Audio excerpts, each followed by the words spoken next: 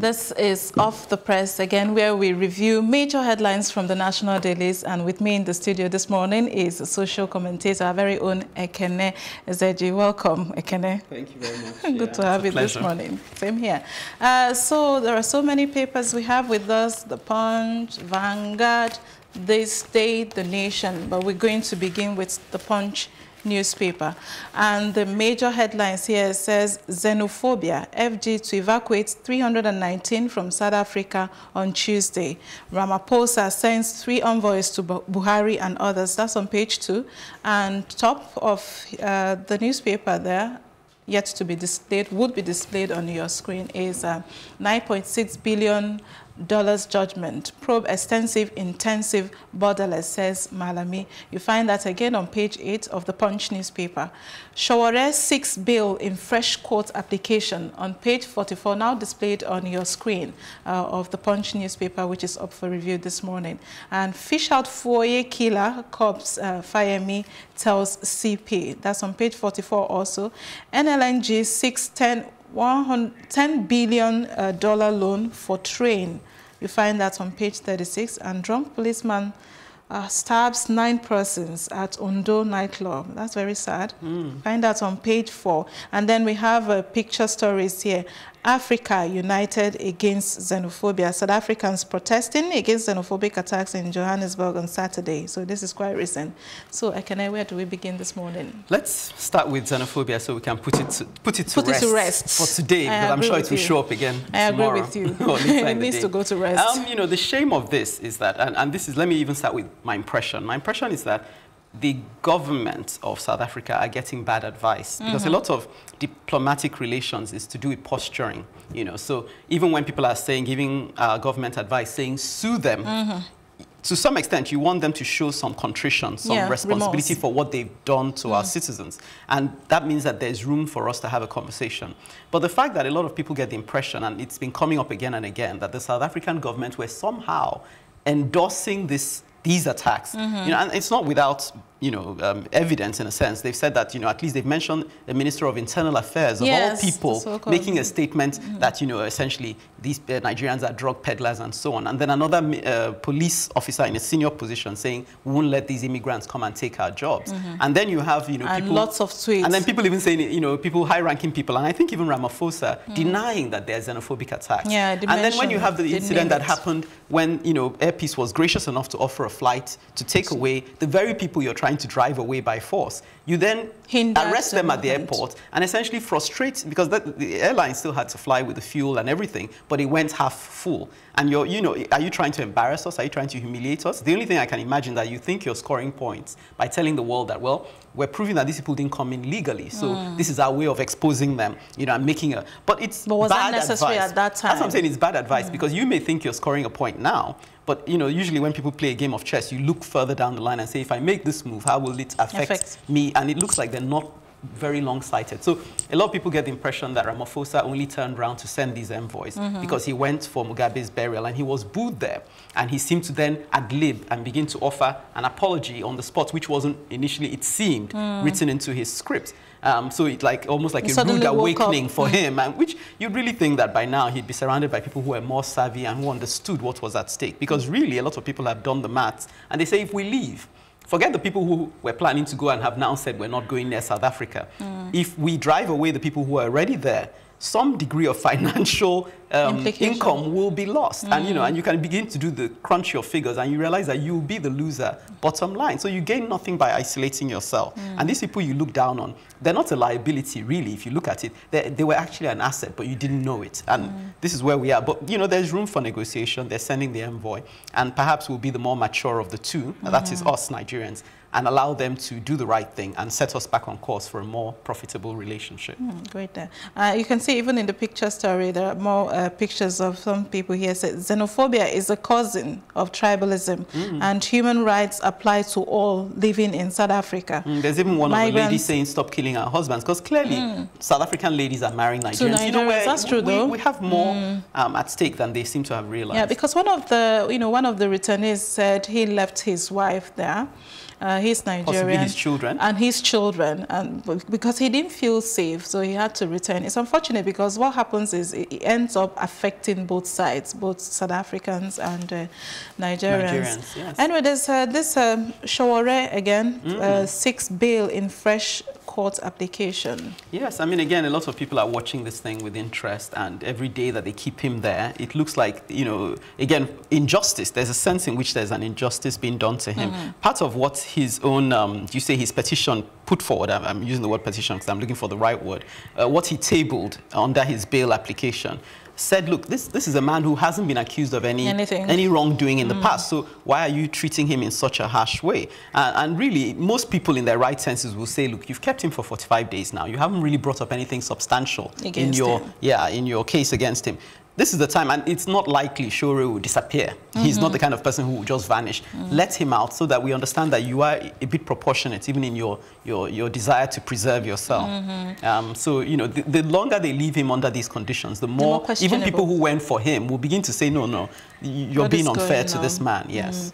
And I, I, mean, it, it will be, the danger there is that they will be playing into the record of, you know, some conversations already saying, oh, that's how they will leave him there and we'll finally... I, I doubt, I, I sincerely doubt days. that will happen to him. But also, I think their plan, again, maybe they're behaving a bit like South Africa now, not looking ahead. I think their plan might be to wait for a while, long enough to maybe let um, talk about him die down a little bit, and then they'll just sort of sneak him out. Mm. Uh, but what they should realize is that a man like Sowore is never going to come out silently. They, exactly. Uh, he, he has the out. means to amplify his voice, yes. and there's no way, even if you brought him out at night, people will not find mm -hmm. out. So mm-hmm. the sooner you get him out, the better, and just he will you know, more likely the tell the story, even if you sneak him out. Yes. So do you want to? So I, I, don't think you can question? avoid that notoriety. Just let the man out, you know, and let him have his bail. All right. Uh, so uh, the next uh, paper here, because basically it's xenophobia that's all there. It's uh, would be Vanguard up for review. And again, first front page, xenophobia.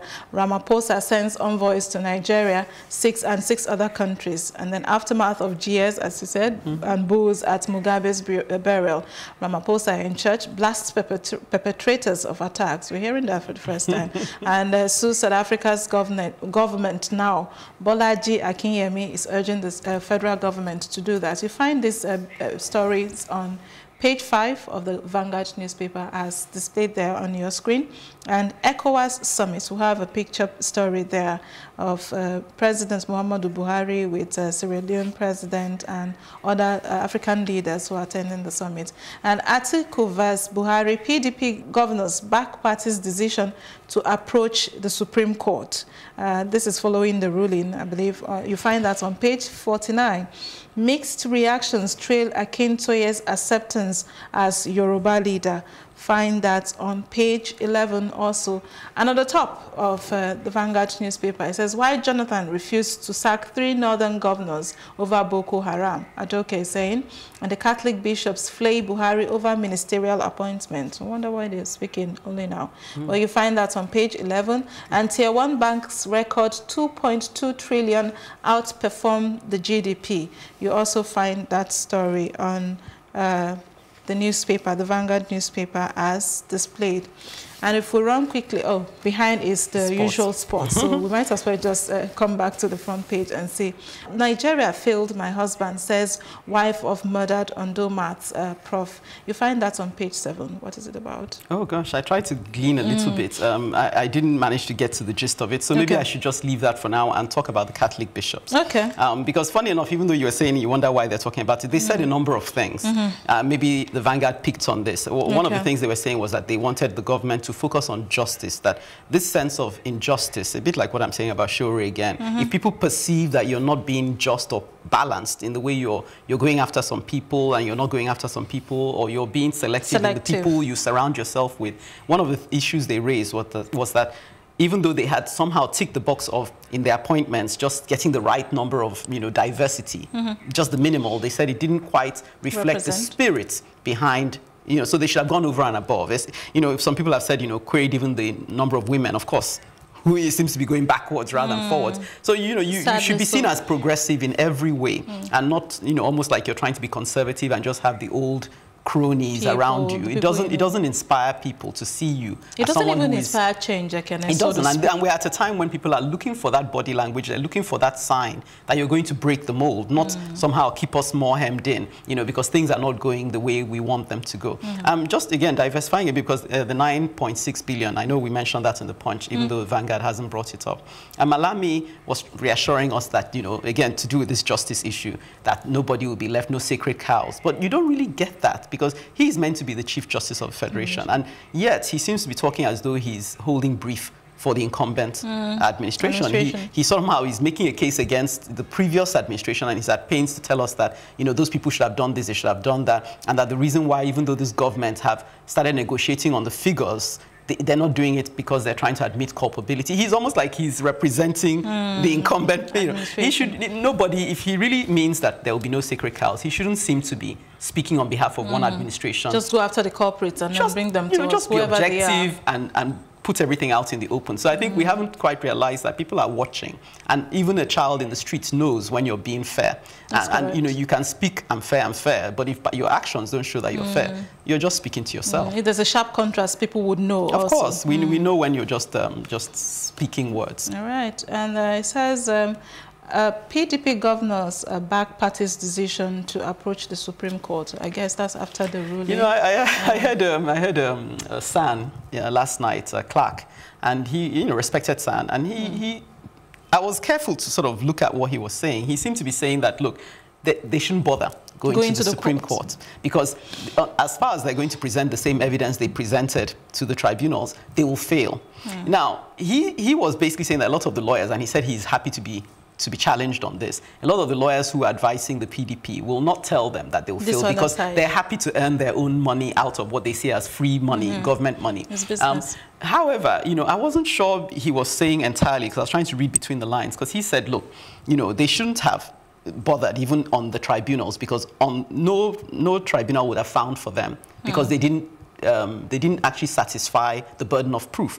But he then went on to say that the worst um, elections we've had, which he said was in uh, 2010, mm. uh, no, 2007, yeah, Dua's tenure, despite how bad that was, they were unable to discharge the burden of proof. And he said that that burden of proof, proof is very difficult mm. to, to discharge. So I wasn't sure he wasn't saying that there wasn't a case mm. to say that the uh, elections were badly, were not transparent, and were not, but that they didn't, they couldn't make the case. That that seemed to be what he was saying. Not that there wasn't a case, but that they, it would be very hard, mm. or if not impossible, to make a case against a presidential, mm. you know, hmm. candidate. Mm. And that, that was a little sad for me, actually. I can imagine so. I mean, but I, even that's been said, I'm sure they, they are not, they won't relent because, again, they want to, what do you say, He satisfy. says it's all politicking. It could be. It could be. Anyways, we'll see where that leads them to. Mm. Uh, we have with me here now, this day, newspaper up for review and on the front page it says Again, the 9.6 billion. We will spare nobody mm, in uh, 9.6 billion P and ID field deal, says uh, Bakar Malami, confirms security agencies squeeze prominent uh, personalities, denies probe of NJC lawmakers by N NFIU. Uh, so we have a picture story also here of our president uh, seemed to be congratulated, or the Ogun State gov uh, Governor Dapo Abiodun seemed to be con uh, congratulating him after the ruling. And um, oil prices surged 20% on drone strike on Saudi Arabia. Brent rises to six months high of $71. Uh, that's on the front page, the right top. You'll find the story continued also on page 8 as displayed there on your screen. And uh, we also have revealed how military super camp strategy aids Boko Haram to hold positions. Uh, this you can find on the front page and then continued again on page 8. And PDP governors back Atiku's bid to appeal to the Supreme Court. Mm, Basically, more politicking. The same thing. I, yeah, um, I feel a little sad at the fact that a drone strike in Saudi Arabia could plummet oil prices and affect us and put us in such a vulnerable place. Mm -hmm. Again, a lot of people will say where, where we are because we haven't planned for the future. And even now, we're still not planning. Still heavily An oil-producing country, and we haven't developed our refineries. And, you know, even shocks like this, because they said said apparently this plummet it hasn't, it hasn't been as bad as this for a while. Mm. I can't mm. remember how far back they had to go to see, to see how, you know, when we've had a drop like similar this. to this. You know, it's dropped by 11 point something, mm. which has basically sent it down to 70 something. And, you know, this is something that really, most people are feeling the shock around the world, but you know that countries like America, who are not even oil producing like we mm -hmm. are, mm-hmm. have tried to do things to, to somehow, you know, buffer, give them a little cushioning against this kind of an event. What mm. are we doing? Ourselves, we should keep asking the question. That should have a direct effect, to, to, so yeah, to, to, to, protect us, because mm. since we're still largely dependent on oil, mm. how are we protecting our, do you say, the golden goose, so to speak? Mm. What are we doing to make investments, long-term investments? Mm, valid question. But, you know, sometimes it looks as very far, you know, uh, but then, like you said, the, the effect trickles yeah, down. Yeah, in a twinkle of an eye. we'll find ourselves to be there. Mm. And then report says Nigeria loses 600 million annually to illegal fishing. That was a fascinating one. I had mm. to go and read that actually because I was like, oh, this is interesting. And you know, again, you don't want to keep seeming like you're, you're mourning or singing the same sad song. Or negative. It's amazing to find out that we are spending as much as 800 billion. Is it billion? I no, think 600 million. Okay, we're spending as much as 800 million. We are hmm. spending as much as 800 million on importing fish. Hmm. Whereas because we don't have the right technology, people like China, that's at least the country they listed, may well be illegally taking up to the amount to the value of 600 million no, worth of joking. fish from our so so we have it's almost like we have it under our nose so you, it would even be ironic if we're going and importing from so, the same china that are taking from us because we don't have the means to control and to you know to somehow preserve our own, you know, so mm. it's hmm. almost like, um, I don't know if you want to call it a, a tale of, uh, uh, uh, I'm looking for the right word, where you, you're laughing at yourself, but mm. it's actually hmm. quite sad, yeah. you know, that you're in this position where your raw materials, you can't do anything to harness them. You're, you're, you're in the water and the, the soap is entering Okay, that's another way of looking Yeah, because, yeah. you know, can you imagine? so we're, we're spending more importing fish, um, and then we're losing almost to the same tune our own fish mm. and then we're importing the same. This is quite crazy. unfortunate. But you know, the irony of it is that the demand is there. The reason why we're importing that amount of fish is that there is a, a, demand for demand. it. And most countries would love it that they have such a demand. This mm. is why, you know, um, someone like the, the man from Facebook, when he came, and he saw the demand for you know internet usage. He was mm, excited. Zuckerberg. We have the market mm. for it. Mm. So Mark Zuckerberg. So you, most countries would be excited to meet that demand this, because this is what makes business mm. flourish. But yeah. we are unable to meet the demands, and we're talking about importing fish, talking about importing rice, things that are on our nose, and even oil. Importing toothpick. Refined well. oil. We shouldn't really. be. We shouldn't be saying mm. these things. It's yeah. quite unfortunate because it means that if we have the right technology, we should be gaining. And we should be exporting. And exporting. So rather than people stealing from us, they will buy from us. Mm -hmm. mm. It's unfortunate. I hope you're paying attention. And then at the back page, on the back page of this day is uh, columnist Chimaroke Nnamani, Developmental Trajectory of the Igbo People. Please grab a copy of uh, this day uh, newspaper and find out what this is about. Oh, it says Aladimma, uh, developmental trajectory of Igbo people. Aladima translates to... Uh, the land is good. The land is good. Mm. So find out what this is about on... I don't know, sometimes I, I want to I see these things as signs because you find, you know, the recent replacement of the the new Afenifere leader mm -hmm. and, you know, the, initially they said he wasn't the one and now he's the one. Mm. You know, it's almost like the, the, the tribal groups are just consolidating there. everybody's looking to their own and, and that tells you a lot. That tells you that people are not confident that the center is where the Holding security together. is at. So mm. now everybody's looking for ways to develop their own. Mm. You know, you, you, would say that maybe this is the time for people to really look at things like proper restructuring so that rather than people separating surreptitiously, yeah. we now do a structured thing that we can, you know, make sure that we can all. still stay together and still benefit as individual um, mm. groups. All right, uh, and that's it for this day as we move to the Nation newspaper. It says, why tribunal didn't, didn't rule on Atiku's citizenship. Please find out on page 29, such task not for panel. Uh, you find it on page 29 of the Nation newspaper, now displayed on your screen. And no NFIU order on lawmakers' uh, judges' accounts. No such directives. Please find out also on page 10. Oyo to get 20 years growth plan. Makinde raises the bar. That's on page 41, so that's good there. And the big story for the Nation newspaper is the Catholic Bishop Conference, uh, the urge for justice and peace to reign. talked mm, about that on yes. page 37. And South Africa's envoy heads for Nigeria on peace mission. Uh, 320 Nigerians will be back tomorrow. They were supposed to be back yesterday. Mm. Um, there's another, week. there's a second. There's a second batch. Yes, the first batch are, batch. here, and okay. I saw some interviews with them. Some of them very happy to be back, mm. singing. You, you know, the national, and it was so emotional. yes, but one, the thing that actually touched me was one of them was actually saying that they really felt valued. That they, mm. this kind of thing that Nigeria did for them is it makes them feel like you know the way Americans value their citizens. So these things matter. Okay, now is it Nigeria that did? It's Air Peace. but it doesn't matter. The point is, mm. Air Peace made. Thank God, mm -hmm. Air Peace were able to step in where the and government were not able to step in. Because mm. I, I, think people have stated that Air Peace are not receiving any support from the mm. government, but they yes. should.